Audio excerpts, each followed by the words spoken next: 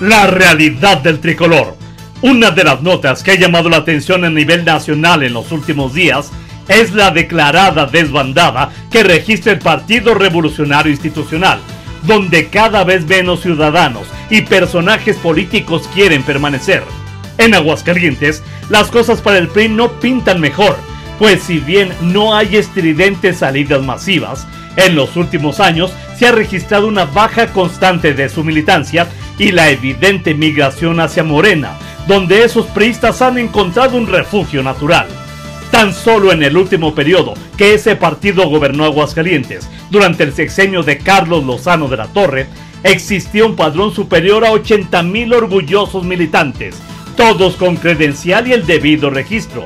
Hoy según el registro público existente en la página web del Instituto Nacional Electoral, únicamente sobreviven 4.848 priistas, la mayor parte de quienes no se acercan ni por error al edificio, mucho menos a las labores partidistas.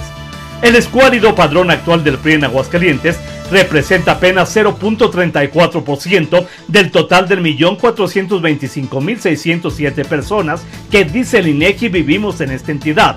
Así que no basta una foto una conferencia de prensa de una docena de entusiastas tricolores que además persiguen alguna plurinominal. En esta ocasión van a necesitar canicas reales para las negociaciones al interior de la alianza.